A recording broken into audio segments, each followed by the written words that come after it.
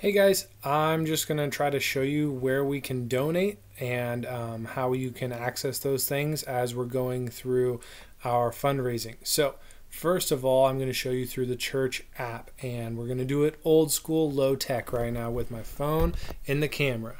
So, first of all, you should make sure that you have the church app. It looks like that.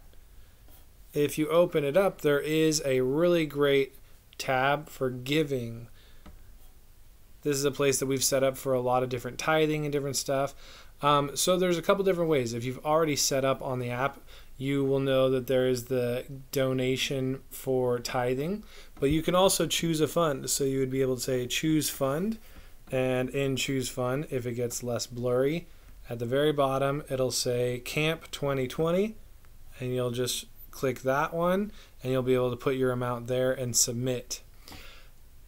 Also, we have a camp fundraiser right here. This is also on a website.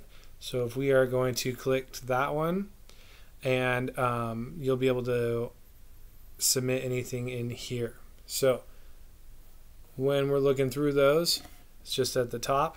We've got give and special.